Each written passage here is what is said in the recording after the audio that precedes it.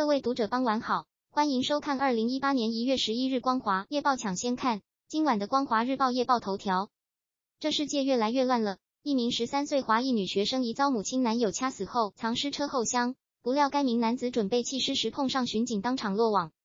土著团结党总裁敦马哈迪在脸书专页面开播，与网友商讨治国方策之际，强调今时今日的反对党不能只是一味反对，而必须提出对策。体育消息。日本奥运国家代表之间爆出了大丑闻，一名选手给自己的奥运竞争对手下药。丑闻爆发后，下药的肇事者铃木康大除了被禁赛八年之外，还遭除名。娱乐新闻：湖南卫视歌唱节目《歌手二零一八》周五首播，原本传闻在比赛名单的天后阿妹张惠妹档期无法配合，未能参赛，也因此爆出节目组开出一季四二零零万人民币力邀阿妹出赛。如此高的唱酬，台湾上班族就算不吃不喝七百年也未必赚到。